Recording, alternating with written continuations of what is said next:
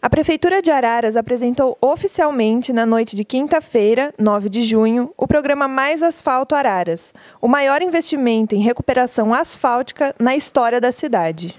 E ele vai acontecer em todas as regiões do município, tá?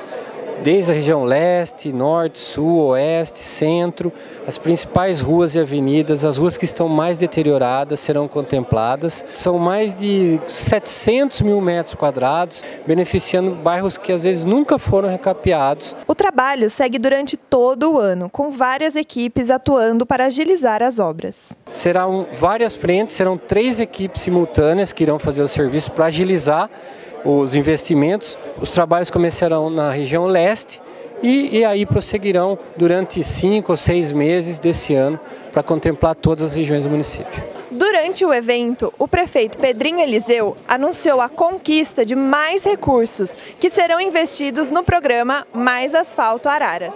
Até agora mais 10 milhões que nós conseguimos e vou continuar trabalhando para conseguir ainda mais recursos, porque eu tenho certeza e convicção de que se nós fizermos esse trabalho permanentemente, a cidade não vai ficar do jeito que ficou, como nós encontramos, que lamentavelmente ainda penaliza uma boa parte da nossa população. Mas hoje a alegria está aí, o anúncio está feito e agora é trabalhar.